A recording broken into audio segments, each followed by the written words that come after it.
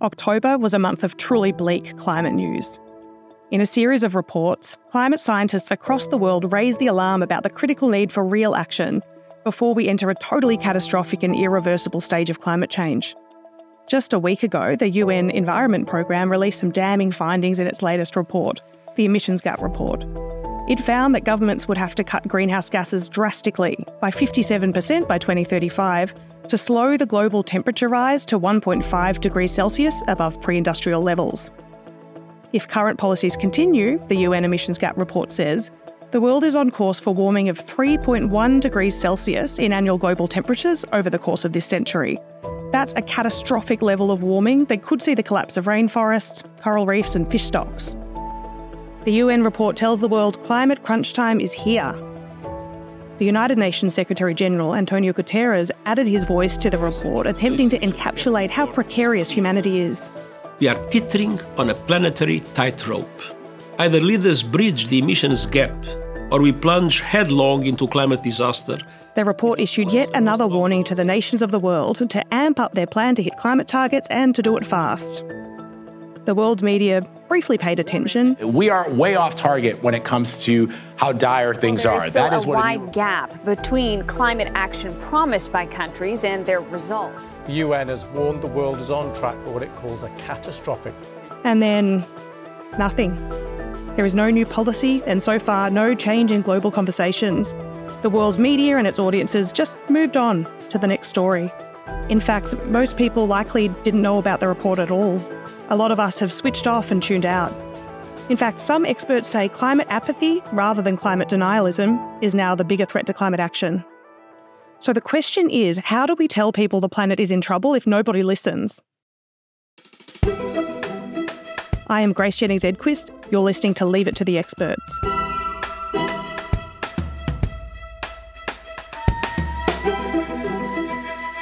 Before we get to how we tackle the resistance to climate change reporting, first, we should arm ourselves with the latest facts about the threats we're facing.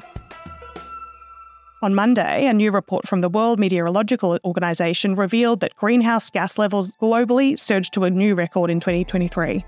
That report, which is called the Annual Greenhouse Gas Bulletin, found the world is off track in its aim to limit global warming to well below 2 degrees Celsius, and it's nowhere near its aim of ideally limiting warming to 1.5 degrees Celsius above pre industrial levels. Now, a quick refresher here limiting how hot the world gets is the central aim of the Paris Agreement on climate change. And that's what many of the nations of the world signed up to at the Paris Climate Summit in 2015. The Paris Agreement is a legally binding international treaty on climate change to limit global warming to well below 2, preferably to 1.5 degrees Celsius then, just yesterday, the new State of the Climate report was released by Australia's National Science Agency, CSIRO, and the Bureau of Meteorology. That report revealed that Australia's average temperature has already increased by more than 1.5 degrees Celsius since national records began. That Australian report follows hot on the heels of a global State of the Climate report, which is released by a separate team of international scientists, led by two researchers from Oregon in the US. That report warned that the world is now entering a critical and unpredictable stage of climate emergency. As the authors wrote, we are on the brink of an irreversible climate disaster. This is a global emergency beyond any doubt. This US led report makes clear that despite warnings over half a century, we're still moving in the wrong direction. Fossil fuel emissions have increased to an all time high. The three hottest days ever occurred in July of 2024. In other words, all these climate reports agree the world is on track to blow right past the Paris Agreement's target of limiting the global temperature increase to 1.5 degrees above pre industrial levels. And the window to avert the world passing that marker is narrowing quickly. The World Meteorological Organization says there's a 66% chance that the world will surpass that 1.5 degrees Celsius marker within the next five years.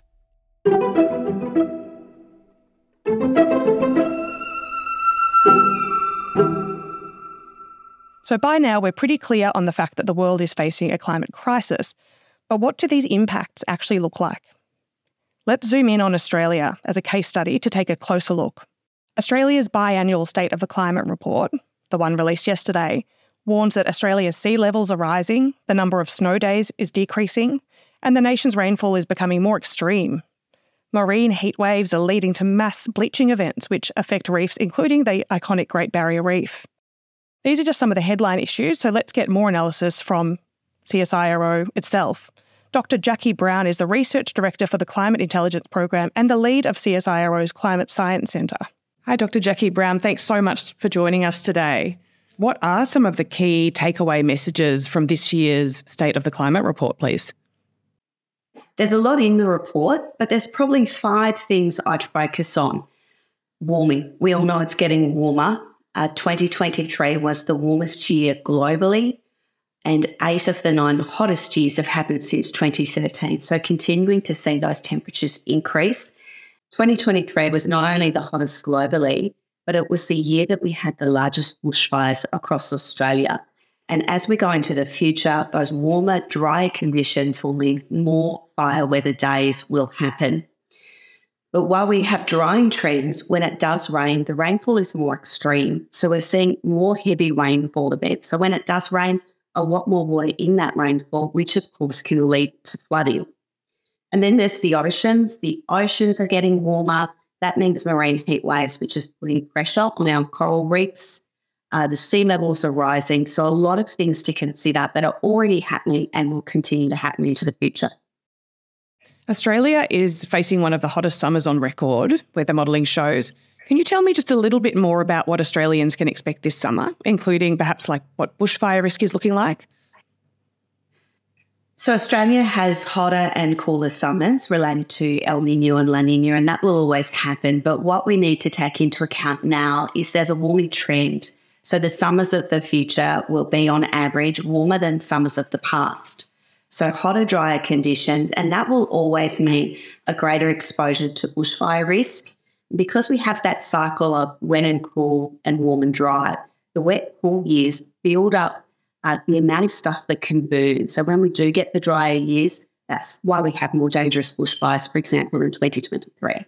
I want to move on to talk about our oceans because I'm interested in hearing how about how marine heat waves are predicted to increase and also last longer than they used to.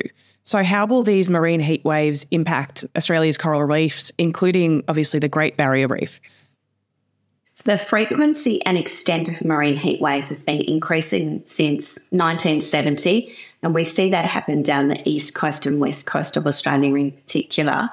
Uh, when we see the warmer events, that puts a lot of stress on the coral reefs, and sometimes they can recover. But as the marine heat waves get more intense and longer, that's a lot more pressure uh, and less chance to recover. And, and that's the real concern. What happens when those the marine heat wave events occur, put too much stress on the Great Barrier Reef and it can't recover. Uh, there's been a big pressure on this year, and we're waiting to see the outcome of that. Thanks for explaining that. Uh, I did want to talk about tropical cyclones because they can be associated with warmer oceans. And look, this is a timely topic because I understand Australian cyclone season technically begins in November. Are we likely to see more tropical cyclones in coming years or perhaps just more severe ones than we usually see? The pattern of tropical cyclones is harder to understand because we don't have a lot each year, unlike you know, marine heat waves or temperature change, a lot of data. But what we do expect to see with tropical cyclones is less of them, but more intensity. So stronger tropical cyclones coming through, but maybe not quite as often. Okay, thanks so much for explaining that. I want to talk about rain just briefly, as we did touch on it before. So I understand heavy rainfall is has been over time becoming more intense in some parts of the country, and then elsewhere there's been declines in rainfall. So, just in a nutshell, where are we seeing these different scenarios, and what kind of challenges do both of those scenarios present?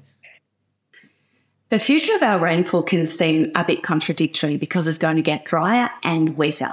So we've got conditions, particularly through the southwest and southeast, that are getting drier through the wet season or winter, and that's a, a longer term trend. And that in particular puts pressure on our farming communities that rely on that winter rainfall. So drying conditions through the south. But what we're seeing is when it does rain, that rainfall becomes more intense. We'll be right back. Hi, my name is Andrew Jaspan, and I'm the founding editor and director of 360 Info. At 360 Info, we're providing evidence driven, solution based journalism, all written by leading experts. Every week, we release new and innovative news content that bridges the gap between the world's brightest minds and the global public. To be part of the fight against misinformation, sign up for our newsletters and follow us on social media or head to 360info.org. If you're a journalist or a publisher or editor, you can sign up for our Newswire service, which is free of charge at newshub.360info.org. There are solutions to all this, climate scientists are saying. Let's hear from Nerilie Abram from the Australian National University. She's a professor of climate science. She's also deputy director of the Australian Centre for Excellence in Antarctic Science and the Centre of Excellence for the Weather of the 21st Century. The state of the climate reports don't generally focus on solutions, they report more on key observations, analyses, and projections. So, what are some of the key solutions to mitigating the worst impacts of climate change? Uh, there's really only one assured solution, and that is to reduce greenhouse gas emissions um, and to reach net zero. And by reaching net zero, we'll get to a point where we can stabilise uh, climate. Other critical ways to mitigate the worst effects of climate change include driving down methane emissions and reducing waste and overconsumption, according to the US led Global State of the Climate report. So, are these key three things really likely to happen and how relevant are they to the Australian context? I asked Dr. Lucy Richardson. She's the Deputy Director of the Climate Change Communication Research Hub at Monash University. A lot of these kinds of approaches could be implemented in Australia, and some of them have actually been tested here in the past. Um, with our political narratives being so polarised, I do wonder how many people even know just how successful our carbon pollution reduction scheme was. Um, for those listeners who don't remember that scheme, it was actually better known at the time as the carbon tax, but it was actually quite effective at reducing emissions without negatively impacting on our economy at the time. So we have had some success in that, but that political um, polarization m- meant that that um, was discontinued. And um, most of the commentary that I'm seeing at the moment doesn't appear to see this kind of intervention as being put in place here in the near future. But but it will be interesting to see, for example, how the the uh, Australian Energy Market Commission's new uh, shadow price uh, on um, uh, is coming into play and what that might mean for the policy decisions and energy emissions in the future. I also wanted to hear more from Professor Abram. So I asked her how far off we are from actually reducing fossil fuel emissions down to an acceptable level. So we we know what we need to do. Uh, we know sort of how much carbon we can still afford to burn and stay within uh, different levels of climate warming. Uh, we have the technology to be able to do that transformation. Uh, where the hurdle is at the moment is how quickly we're deploying that and transforming um, our societies and our economies to decarbonize them. So uh, at the moment, we're seeing a leveling off of um, global emissions, but what we need is actually to reduce those emissions emissions um, down rapidly and getting to, to net zero. So we haven't actually started that downward journey yet. Thanks for explaining that. Uh, obviously, your answer focused on this really big picture stuff about um, governments, countries, um, which and also suppose big corporates really reducing their emissions. Um, sometimes people like to talk about solutions at the individual level. Um, there's a lot of kind of articles around about what you as an individual or family can do to reduce emissions and contribute and play your part. Do you think that when talking about solutions to climate change, is it at all helpful to talk about this individual piece of the puzzle? Um, or really do we need to be making sure that we're focusing on governments um, and big companies, or are both perhaps important for different reasons? Um, I would say that both are important for different reasons. So, if we're going to actually make meaningful and rapid and lasting um, emission reductions, that has to be driven by um, corporations and by government putting in place the policy settings that will actually drive us in that direction. Uh, but at the same time, this is an enormous problem. Um, everybody is part of um, contributing to greenhouse gas emissions.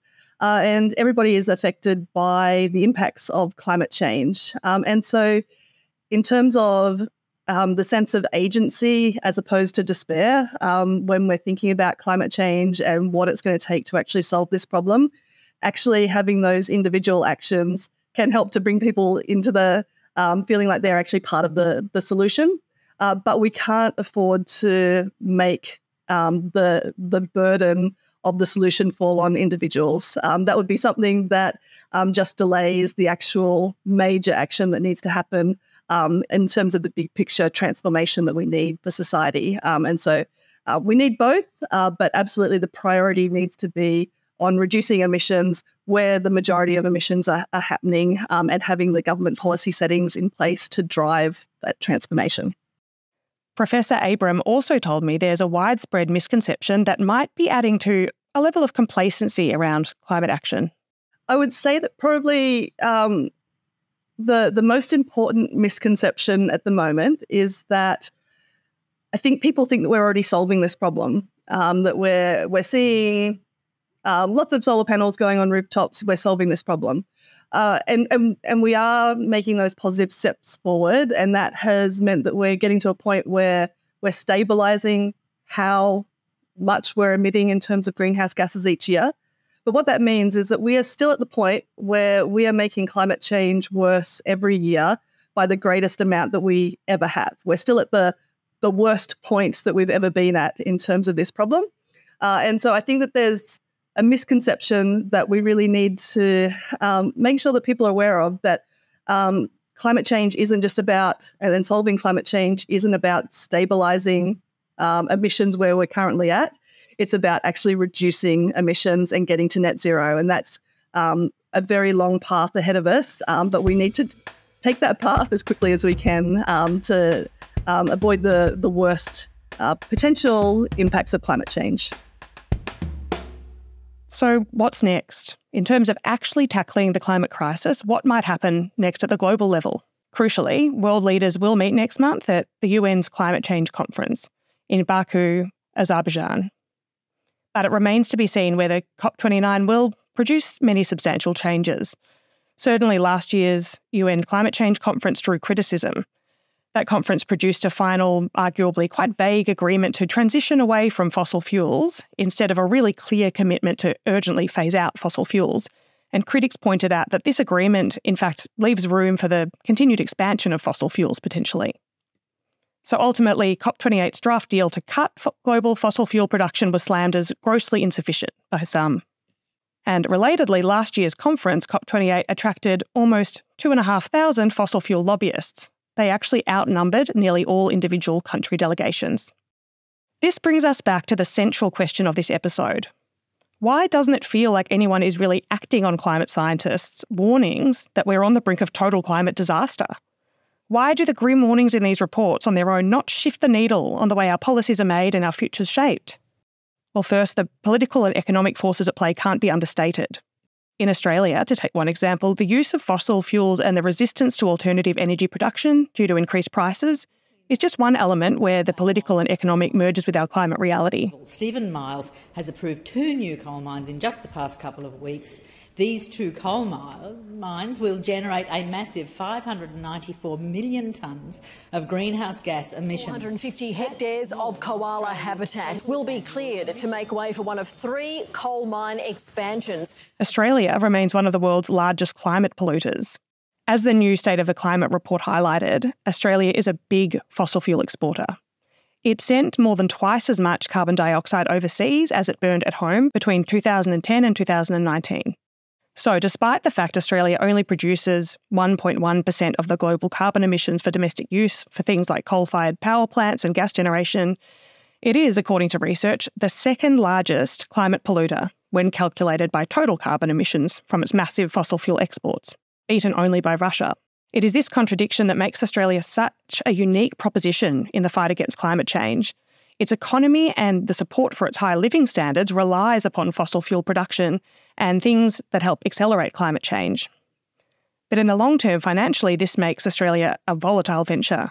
Put simply, quite apart from the catastrophic impacts on our environment, climate change threatens Australia's jobs and economy.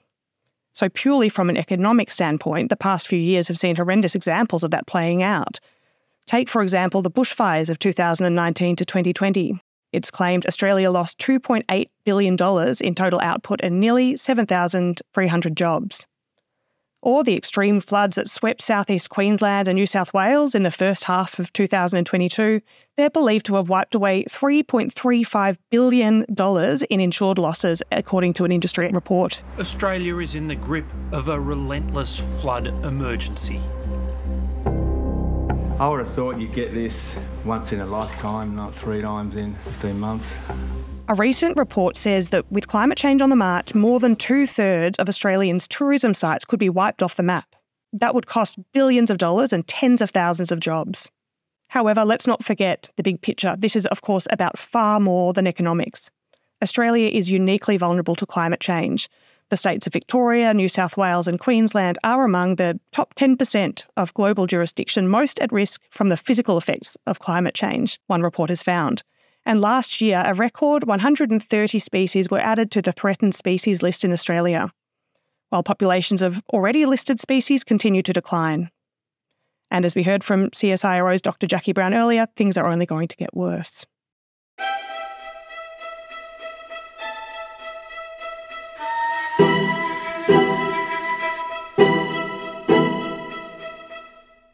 So, what are you supposed to do with that information? Let's hear again from Dr. Lucy Richardson from Monash University. How do audiences tend to respond psychologically and behaviourally, perhaps, to reports about climate change and its worsening effects? People can re- respond in a variety of ways. Um, the worry and the fear that are associated with these worsening impacts can really lead people to feel overwhelmed. And for some people, this means they actually disengage from the issue as a way to cope with those overwhelming feelings. If we feel like we can make a difference, though, that worry and that fear can actually be motivating and really push us to into action as a way to cope with those emotions. Um, but there are also other people who may feel that addressing climate change will cause them more harm than they think climate change will. And so, this people in this situation, typically they're in wealthier countries, um, like Australia, for example, and they fall somewhere on a spectrum of denial, either consciously or unconsciously they might uh, come up with ways to mitigate that perceived risk.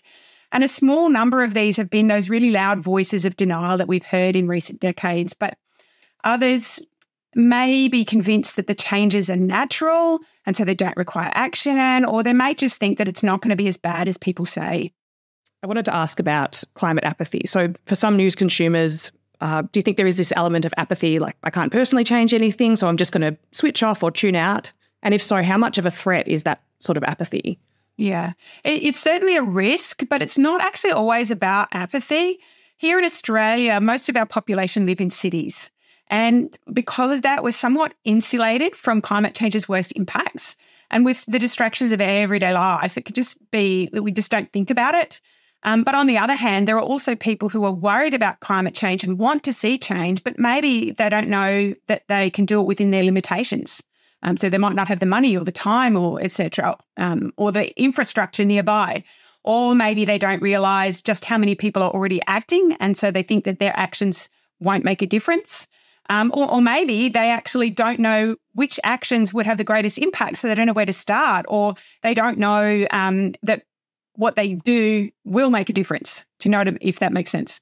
Yeah, absolutely. It does make sense. And I'm glad you raised that because I wanted to go on and talk about actions that make a difference or potential solutions. So, in a nutshell, huge question. Um, but what are what are some of the key solutions to mitigating the worst impacts of climate change? Do you think? Yeah, as most people would know, you know, one of the most impactful things that we can do as a society is stop using coal, oil, and natural gas for generating our electricity burning those, giving off those those greenhouse gas emissions, that's what's causing the problem. So we need to we need to deal with that. Um, but a lot of that that and associated actions that can really be done at that policy, government policy, industry level also scale down to our individual actions. Uh, and so there's some a range of things that people can do there. So some of them are trickier to adopt than others, depending on our situation, as I mentioned before. Um, so things like, for example, buying renewable energy from your electricity supply provider or installing solar panels and batteries at your home. But people who are renting their house or living in apartments with limited or costly electricity options, they might struggle to do this. Um, there are some local governments, though, that have taken out programs specifically to help people in those situations to actually move to renewable energy. So it's worth people reaching out for that to see what's there. Um, another key action is reducing our use of fossil uh, of fuel burning cars, and this might mean swapping our car trips for walking or cycling or taking public transport. It might mean carpooling or buying an electric car. But this can also be difficult for families, for example, where there might be several morning drop-offs on the way to work or not enough money to buy an electric car or no capacity to move closer to work. So, um, working from home is actually one of the few things that we got um, as a benefit out of COVID. There's not many things that you can say that good coming out of COVID, but that was one. Um, so there can be difficulties there. Um, also, our purchasing choices. So we can start by just buying less stuff. Um, since much of what was manu- is manufactured is done using that electricity from coal, oil, and gas. Uh, we can also hunt out more sustainable brands, but it can sometimes be hard to tell whether they are or aren't, or if they just look like they are. Um, and then things like um, reducing the amount of meat that we eat, especially red meat. Um, some people find this tricky. It might be because they don't um, don't know what to replace it with from a nutritional sense, or because they're unsure um, how much better the alternatives are in terms of their emissions, or maybe they just don't know how to cook the alternatives that are out there. So there's there's lots of things we could be doing. Um, it depends a lot on our situation. To those listeners who see this report and just feel completely helpless when reading these grim facts in a, this new State of the Climate report, what would you want them to know? You are not alone. It is not too late. There are things you can do and you can make a difference. I think that's probably the prime things. Uh, and also be kind to yourself and to others. We can use this as an opportunity to connect with other people um, rather than to push ourselves apart. Um, guilt and blame, for example, are more likely to shut people down than to encourage them to act. So it's okay to be angry, worried, scared, but use those feelings to push us to reach out, to find other people who want to do similar things, to learn what we need to do to be able to act and to actually get out there and act. I'd love to hear, as someone who, you know, you've got great expertise in this space, what do you think is missing from the current conversations in Australia about climate change? You know, do you do you think that we tend to focus on particular issues and really ignore other important ones? I, I guess linking back to one of the points I made earlier, one, one of the key issues I see is the false split in the poli- political debate that suggests, suggests that climate action must necessarily be bad for jobs and the economy. Um, there's been a little bit of a shift in that in recent years, but it is still there. And climate action can absolutely be good for the economy and for jobs. And if we don't act, that will actually have important implications for jobs that I don't really think are being talked about enough. You mean you think about our tradies. What will it mean for the construction industry if we have more and more heat waves? Our tradies, they are not going to be up on our roofs on 40 degree days. And if there are more hot days, that's more days oh, without on site work. Um, the number of hot days above 35 degrees across Australia has doubled since 1960. And as this gets worse, and then we add in the effects of increasing floods and bushfires and hailstorms, etc., it's it can be crippling for the industry and have significant flow-on effects for all the other aspects like housing and businesses, energy developments, and more. So. Uh, I, I, don't see that that's being discussed anywhere near enough when we're talking about this, um, the, the implications of climate action for jobs and the economy. I also asked Ben Newell, Professor of Behavioural Science in the School of Psychology at UNSW Sydney, to weigh in. He's also Director of the UNSW Institute for Climate Risk and Response. What do we know about how news consumers respond psychologically and behaviourally to reports about climate change and its worsening effects? Yeah, it's, it's an interesting question. There's a study from uh, the UK in 2022 that looked at this to some extent. So it was a study that was interested in the relationship between people feeling climate anxiety or eco distress and whether that linked to taking action on climate. Uh, and one of the things that they looked at was people's climate change information seeking behavior. So, in other words, how often did I look to the news and look to uh, social media or other sources to get information on climate change? And what they found in that study was that uh, there was a clear um, it was a it was a predictor of increased climate anxiety or distress was how often I looked for information about climate change in the news. So I think there is a little bit of a link there between um, my desire to find out what's going on in the climate and then my my heightened levels of concern or anxiety about it. The other thing, though, that that paper found was that it also links then as some predictive um, power. In other words, explains people's willingness to take action on climate change as well. So, in other words, the more you're seeking out information on climate change, the more anxious you might feel about climate, but you might also be more likely to then take action. Exactly. So there may be actually a, slightly sort of positive effect of being a little bit anxious. I mean, climate anxiety is a, is a term that's becoming more and more used, um, and it's probably getting ahead of its sort of evidential basis. So it's an interesting concept, but it's one that um, anxiety in the clinical li- literature is used as quite a, you know, it, it, has a a clinical defined meaning. Whereas putting the label climate on top of it makes it sound as though it's a sort of pathological condition that maybe needs treatment. But in fact, it's it's still an, a developing literature in terms of whether people should consider it as something that can be treated like other sorts of anxiety, or whether it's simply a um, uh, reaction uh, to you know a, a, worry about what's going on, not something that necessarily needs treatment, but something that could have some uh, be a sort of motivating force for for action. No, certainly. That's fascinating. Thank you. I was wondering are, are these responses of um, what we might call climate anxiety and seeking out information, perhaps action as a response, are they any different among particular demographics, different genders, and so on? Or um, do we not have that information yet? Uh, yeah, so again, there there is that same study from the UK in 2022 did find that another predictor of um, heightened levels of, of concern was age. So younger age groups did seem to show um, a greater concern about climate change and a, and a greater um, uh, then you know link to that that desire to do something. There's also a big study from um, that came out in 2021 um, in the Lancet, which is a big medical journal, which showed that uh, in a sample of about 10,000 young people, uh, so 16 to 25 year olds all across the world, uh, about 70% said that they were worried or even extremely worried about climate change. So I think there is um, a some studies are certainly showing evidence that younger age groups are feeling it more. Oh, that's fascinating. I was wondering for some news consumers, are we seeing a lot of I suppose you could call it climate apathy. So, a sense of like, I can't personally change anything. And I've heard this story a thousand times now. So, I'm just going to tune out or switch off. Um, and if so, how much of a threat is that to climate action?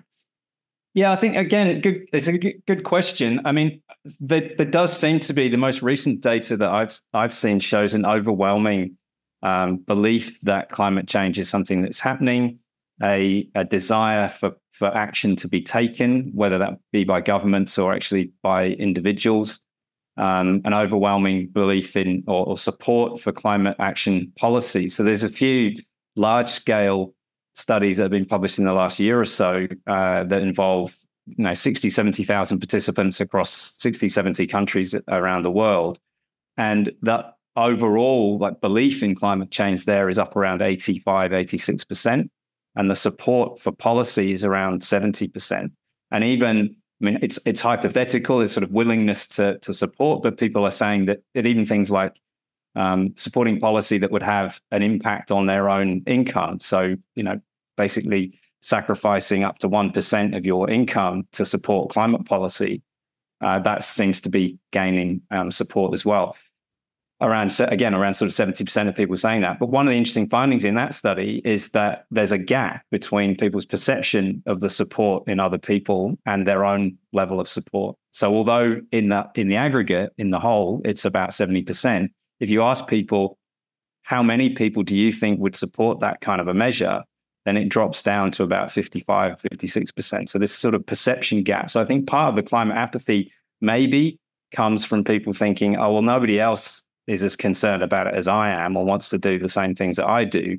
And so I'm going to going to walk back from it. That isn't to say that there is also evidence that things like feeling that you personally can have a difference, the sort of idea of self efficacy of my action, does also contribute to my willingness to want to take um, action as well. We did some work a few years back that showed that that was a that that belief that what I could do would have an impact was a strong um, predictor of my willingness to, to adopt different sort of climate positive behaviors. Important message. Thank you so much for joining us. Really appreciate your time. It's a pleasure. Interestingly, both Dr. Richardson and Dr. Newell have messages of hope. They want everyday people to realise that they're not alone, that there are many people working towards a common goal, and that change is possible. But there still remain other challenges that can prevent people from listening to warnings on climate change. One study from September this year found that cost of living pressures might have an impact, and income disparities can create challenges in climate policy support. That study, which was led by researchers at the University of Chinese Academy of Sciences Department of Psychology, found that people experiencing income poverty are significantly less likely to support climate policy. These people were more likely to experience climate apathy, They tended to prioritise immediate interests over long term climate concerns. So that's one possible explanation for people not acting on the urgency of all these climate warnings from scientists. Another key factor here is, of course, the media and how people interact with it. People are losing trust in the news media. Study after study has shown it. And the news media is also being absorbed into an attention economy where important stories must compete with entertainment. This is the fault not just of the social media platforms that are incentivised to keep us scrolling with no real regard for what's most worthy of readers' attention, more on that later, but it's also the fault of the broader media industry, which has chased audiences, which in turn brings in advertising dollars, often at the cost of journalistic integrity. As a result of all of this, globally, we're now in a crisis of how we receive and interpret information. And this isn't just with regards to climate change, this is regarding everything. Coronavirus officially hitting the US. Israel's attack on Iran. Pop star Taylor Swift's concerts have generated. There's just so much being forced into our brains. It's not always explained well, and it's often overwhelmingly negative news. And we just simply. As Russia has unleashed war. Turn off. More and more people are avoiding any bad news. A University of Canberra report says that almost 70% of people scroll past, change the channel, or don't click on distressing stories. This is Katerina Iva from Pew Research Centre describing the news audiences turning away. Following news and accessing news and news consumption has been in decline. And the most prevalent of all this is young people. As you see here, adults of 18 to 29 are consistently lower than older adults in, in terms of news consumption right? And that trend has been declining. What she is describing, in part, is something called crisis fatigue. Crisis fatigue is something you may well have experienced during the height of the pandemic or through the news and information storms that come around major global events. It's that overwhelming feeling of all that has happened, all that could happen, the conjecture, the misery, the potential fear of the unknown, all compounding. And because of the way we consume media now, which is tailored to an audience of one, ourselves, by an algorithm, some people would rather avoid news altogether rather than consume what they need and disregard what they don't. Well, the data that's released this morning by C- Copernicus says that globally it was the hottest summer ever. I hope you'll forgive me if I get emotional. Climate emergencies are not gender neutral. Oh my goodness, climate change isn't just going to kill us all, it's also sexist and misogynist. I knew it. You know, Australia is too small to do anything that will make any measurable change to the temperature and therefore to the climate. Now, when people look away, experts worry they fill up their brain's desire for information with low quality reporting or misinformation instead. Because of our fractured media environment, this has been accelerating with technology to the point where fewer people trust what they see. Global warming, that's the global warming you have to worry about. Not that the ocean's going to rise in 400 years an eighth of an inch and you'll have more seafront property, right, if that happens. If the oceans rise, do you have more beachfront property? Does that make sense? If the oceans rise, do you have more beachfront or you have less, right? Further to this, more young people are increasingly turning exclusively to social media for their news. It's a place where there are few rules over what you can say or do to audiences. Last year, Boston University researchers analysed over 22,000 tweets spreading climate disinformation. What they found was that more than 60 Twitter accounts that promoted false and misleading statements were funded by ExxonMobil, which just happens to be the world's largest publicly traded oil and gas company. While in 2021, it was revealed that 25 oil and gas industry organisations spent at least $9.5 million to place more than 25,000 ads on Facebook's US platforms for the last election, attempting to shape voting and policies around climate action. These ads were viewed more than 430 million times, and they made millions of dollars for Facebook for their part in platforming the campaign. In turn, this shapes and influences how people interact with climate news, with the outright denial that anything is wrong. In the US, Pew Research claims that 14% of Americans say there's no solid evidence that climate change is happening, while 34% admit it is important but a low priority issue for politics to deal with. People who are in power uh, and, and, internationally, uh, notably, of course, the United States, but also in Australia, those voices are clearly heard. Um, and one hopes that the electorate will, will actually respond to those. Polarised politics also leads to an inability to fight climate change within our national dialogues. A Reuters Institute report showed that in Australia, there's a 36% difference in audience members' interest in climate change news, depending on which side of the political spectrum people claim to identify as being from. The further to the right people are, the less interest they show in climate news, claiming they dispute its impartiality. And researchers say on the other side of the aisle, the main reason for news avoidance is because audiences feel powerless and fatigued. These enormous media bodies are often also viewed through the lens of their owners' thoughts and views on climate politics. Do you think the net zero targets are achievable? Uh, and can Australia and other first world countries get the balance right between concerns for the environment and climate and maintaining a competitive economy and affordable energy? No, I think we're absolutely on the wrong track. I'm not a climate denier. I might be a skeptic of some of the things that I've said. That was, of course, Rupert Murdoch. In Australia, his media entities have led the political fight against climate action within government. Unprecedented bushfires, unprecedented drought. No, this Australian summer has been the summer of unprecedented stupidity in relation to two of the most common and predictable occurrences in Australia's climate cycle drought and bushfires. So, with all of this shaping how climate news is broadcast, interpreted by audiences, and processed in our communities, it seems we need a reset in the way information is shared about climate news. There's no simple solution, but Dr. Lucy Richardson has a thought on how journalists like me could help shape the story. Um, one, one of the things that I think is really important to understand relates to how people process and remember information we tend to focus on meaning and connections more than statistics. So they're, they're kind of mental shortcuts that are known as heuristics. And it has two key implications. First, we'll remember thing, that things are getting worse and they're getting worse fast, um, but not necessarily by how much or how soon. And those heuristics then inform our decisions and actions.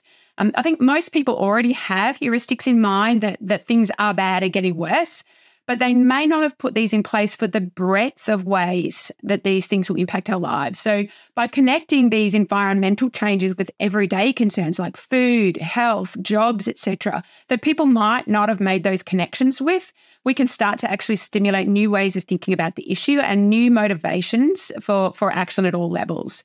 For example, did you know that some dogs will be at risk of heat stroke if they are being walked in temperatures even as low as 20 degrees?